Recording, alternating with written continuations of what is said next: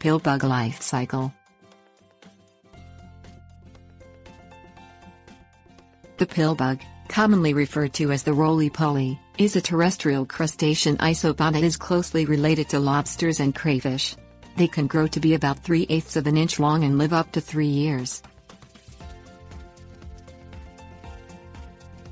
Eggs The female pill bug carries the eggs in a pouch under her body.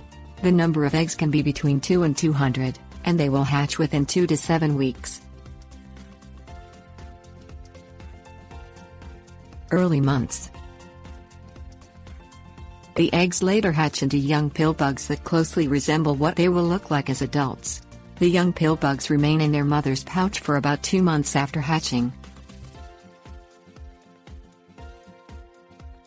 Adult development Development into an adult will take about a year, and the ultimate lifespan will depend primarily on survival conditions. Breeding